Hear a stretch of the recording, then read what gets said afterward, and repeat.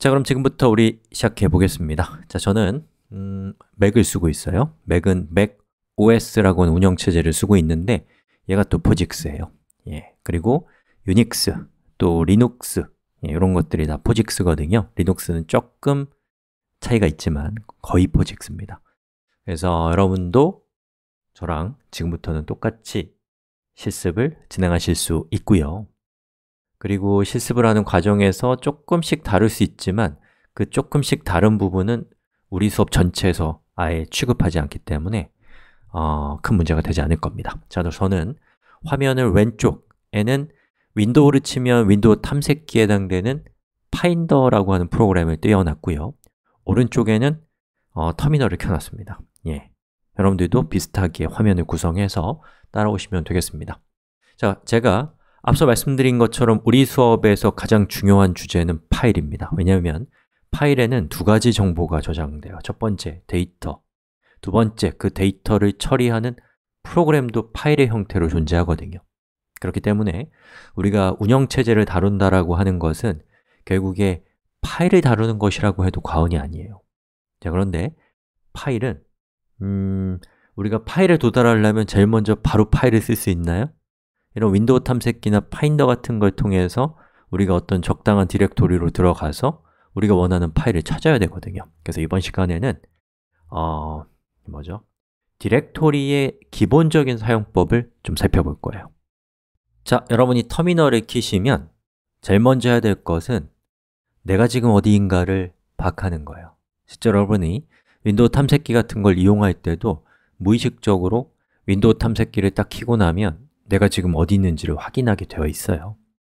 음, 예, 예, 예를 들어 얘 같은 경우는 자, 이렇게 되고 제가 이렇게 이렇게 해서 이렇게 되어 있다. 그럼 저는 무의식적으로 아, 나는 지금 어, 최상위 디렉토리 밑에 있는 유저스 디렉토리 밑에 있는 live란 디렉토리 있구나라는 걸 알고 있단 말이죠. 그런데 이 command line에서는 명시적으로 그걸 해야 됩니다 자, 그때 사용하는 명령어가 pwd예요. 아주 중요한 명령어입니다. 엔터를 치면 슬래시 Users 슬래시 live라고 되어 있거든요. 자, 이 command line interface에서 제일 앞에 있는 슬래시는 최상위 디렉토리예요. 저 같은 경우는 이거이고요. 여러분들이 사용하고 있는 그 운영체제마다 조금씩은 다를 거예요.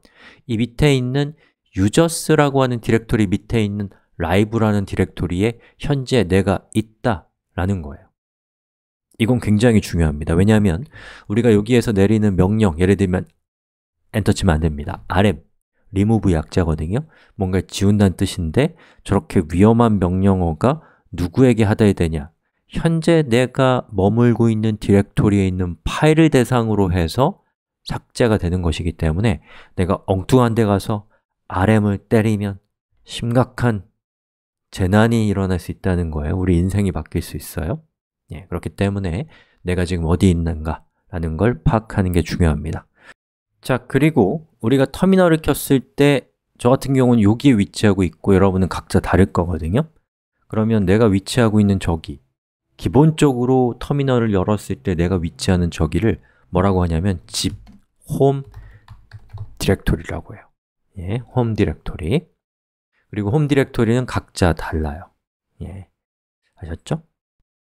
자, 그러면 우리가 현재 내가 어디에 있는지를 알아냈으니까 이번 시간에는 내가 위치하고 있는 디렉토리를 바꾸는 방법을 살펴보겠습니다 여러분 바꾸다가 영어로 뭐예요?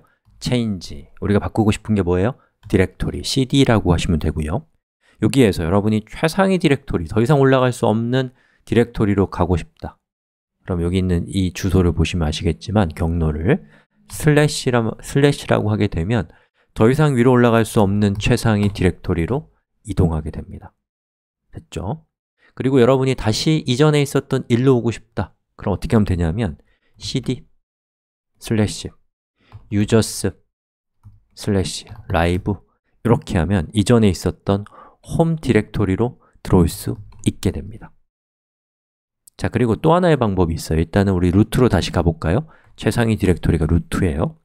자, cd 슬래시 그리고 cd 물결이라고 하는 약속된 기호를 통해서 여러분은 자기가 현재 어디에 있건 간에 자신의 홈 디렉토리로 바로 올 수 있게 됩니다.